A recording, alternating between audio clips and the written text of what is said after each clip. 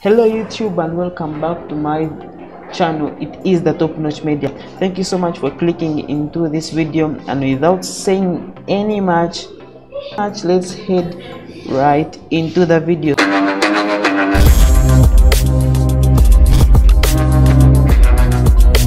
So that will be showing you how you can remove um, this let me show you how you can remove this virtual dj logo and you replace it with your own logo.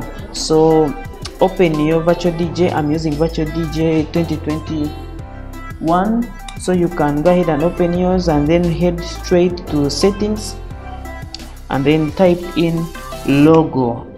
Yes. So you see there's video logo. If you want a video logo on you click yes. If you don't want it just click no. But in this case we need a logo there. So click yes. So you see here we have video logo image yes so there's a drop down click on it go into your directory and choose any logo that you want. In, in my case this is my logo. Click on it then you you change its size the size that you want it. In my case i want it on a medium and the location where you want it. I want mine on the right top and boom you're good to go. So if we play this song